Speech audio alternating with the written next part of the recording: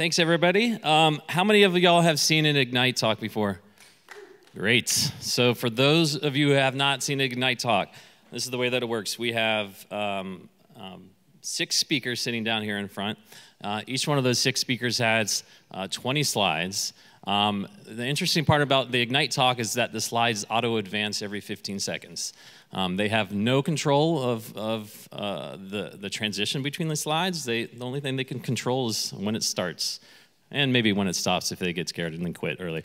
But um, so um, the way that's going to work is uh, we're going to call them up, um, and they're going to do their slide, uh, their slides, and we're going to repeat the process. And at the end, we're going to have a, something a little uh, special where the, the audience can uh, participate.